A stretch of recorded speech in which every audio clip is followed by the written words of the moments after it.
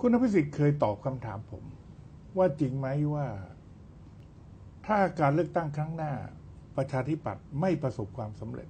คุณอภิสิทธิ์จะพิจารณาตัวเอง อันนี้อันนี้เป็นหลักที่ผมใช้มาตลอดนะครับ แล้วก็แล้วก็สองครั้งที่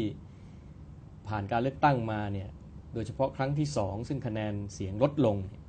นะครับก็ก็ได้ลาออกแสดงความรับผิดชอบ นะเพราะฉะนั้นถ้าพักไม่ประสบความสำเร็จนะนั่นนะเป็นความรับผิดชอบจริงๆ เพราะผม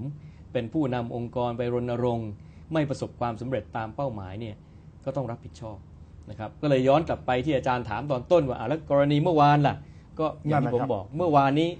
มันไม่ได้มีการรณรงค์ของพักอืมนะครับแล้วก็เมื่อวานนี้อย่างที่ผมบอกก็คือว่าผมแสดงจุดยืนไป และผมก็คิดว่ามันเป็นจุดยืนที่